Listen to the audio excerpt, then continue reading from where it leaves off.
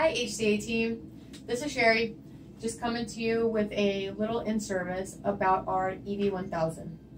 Um, we're going to go over this step by step so we can get a simplified process so that everybody can be doing this uh, the recommended way. Edwards Life Science came out today and they gave us some tips and tricks on how to use the EV1000. First of all, if anybody doesn't know, make sure it's plugged in um, because they do turn on fairly quickly. Then the on button is right here in the back. We're just going to turn it on. Once we're on, we're going to wait for the home screen to open up. Come over here.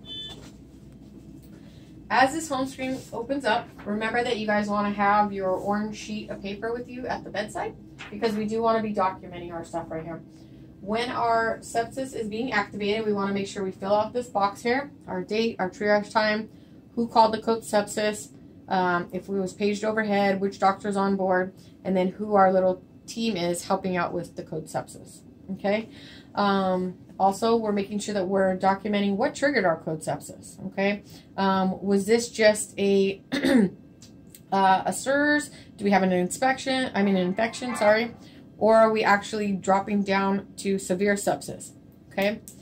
In addition to that, we're going to be drawing labs, starting our IV, and while we're drawing the labs, we want to be getting our POC lactic. Super, super important, guys. Okay, we want to make sure that we're getting that POC lactic.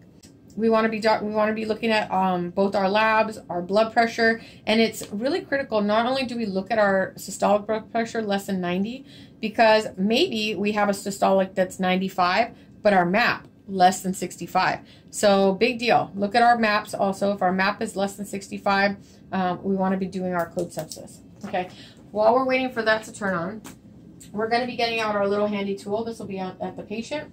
We want to be measuring, okay? So we like to keep the little monitor like in the little middle of the finger here. So we would put this tool on as such. We're going to tighten it really tight and we're going to see what, oops, if you don't break it, what color it lies on. So this shows that I'm a blue, okay? So with that being said, that's a blue is a medium. So we go to our little package here and we find so it looks like our machine has come on. I picked up my blue one because it correlated with my measurement.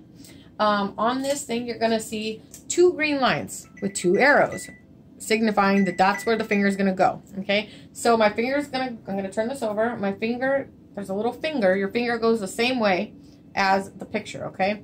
Make sure my finger's in the two blue lines. It's going this way. Close it up. Okay. There we go. We'll put this on the back for now. So let me program this while we're waiting. We want to make sure that we have the accurate data, okay? And this is measured data. This is not stated, okay? Especially, um, be it's really, really important, just like your code strokes, anything like that, okay? So we're putting all these in, um, and it does matter if it's male or female, so we'll just pick where we're going. And then from here, we're going to start now with our, um, hold on one second, home, and it takes you to this screen, okay? So now here we're going to connect our device. We have this big clunker. Okay, we're going to plug this one in to this one. Match the shapes. It only goes one way. Okay, the light's green. Green is good. After that, we're going to take these two pieces because we need to zero our device before we move any further. Okay, hence the zero. These are the only two things on this whole monitor that have zeros. Zero to zero. Okay. Once we have zero to zero, push that right there. We're going to push zero. Yay! We're good. Okay, so now that we have the zero to zero, this little guy goes right here on the finger, the only one that can clip in like that. And then this is going to go right here on your patient. Super important to make sure that this is on and stays on while we are measuring. Sometimes if the patients move around and it falls off, you're not going to get an accurate reading there, okay? Then Ideally, we would like to put this right here and just kind of help them keep their arm here. This is the best way to get your um, reading the quickest, okay? So I'm going to slowly turn. Now, when we're going to push start right here, we want to be looking at this little Z or staircase or whatever you want to call it. It needs to be green, not red, not yellow, because that's when we actually get the correct stroke volume. So we're going to press this. It's pumping up on my finger. I'm making sure everything's holding close right here. Now this, on average, it's been taking about mm, a minute 45 to two minutes, okay?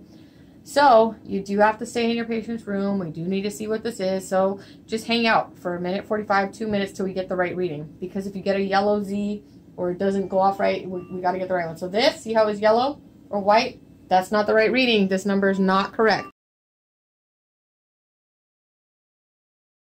Green little Z thing that you could see. So we're going to switch over screens.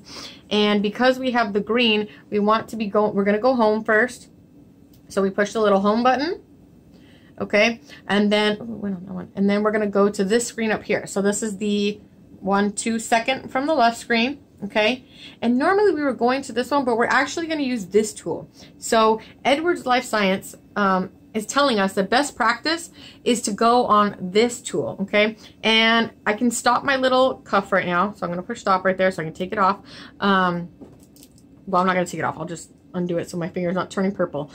So we got our first stroke volume number. This is the number that we are going to be placing on our orange paper, okay, as our initial, um, excuse me, stroke volume time SV1. This is the stroke volume, hence before fluid administration. Okay, so um, if the docs are ordering the 500 mLs, we want to get this on your patient ASAP so that we can get a baseline starting point. Okay, this is where we can document this so that after the bolus goes in, we have the next stroke volume. So we can see do we still need to continue fluids after the 500 do we need to stop? So i'm going to show you how we can get to that okay?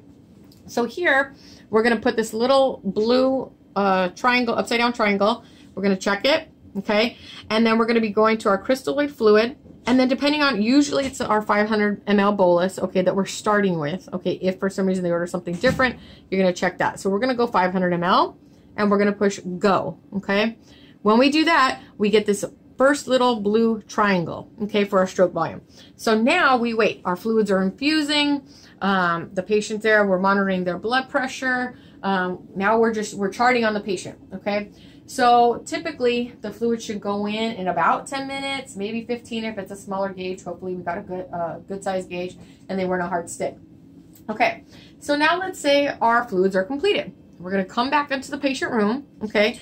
And again, we want to make sure our monitor is on them because by now they've probably moved. This little device, like it did with me, fell off.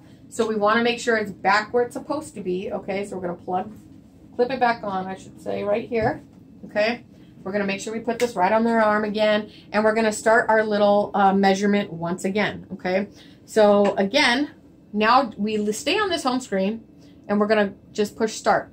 So it's inflating on my finger, we're going, and again, the measurement's going to take around two minutes, so uh, we want to wait till we get the little green uh, Z step stool or whatever, and then we're going to eventually hopefully get another little blue triangle. So we got our second little green step stool. So now this is our second stroke volume number that we're going to be recording on the orange paper. Hence, this is going to be our second stroke volume. This was after the bolus, and then this is our time that we would be getting, you know, from this little machine.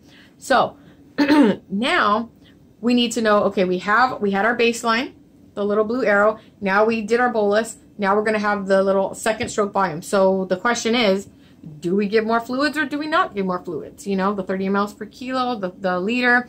This is what we're going to, we're going to go to the little um, blue triangle. We're going to go to custom event and we're going to stop because our fluid stopped. They were done. And this is going to generate another blue arrow. Okay, go. Perfect. Let me take this little device off real quick so I can measure. So now we have our baseline, our fluids went in here, and now we have our, where uh, the stroke volume after our bolus.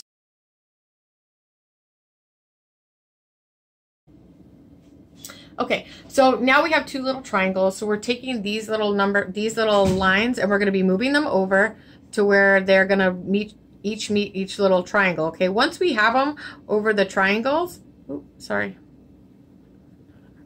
once we have them over the triangles, um, as we're moving it, we're going to come up to this number, which we're going to see here. And this one, like you could see, it's less than 3%. So, because it's not 10% or greater, that means we're good. We're good on the fluids.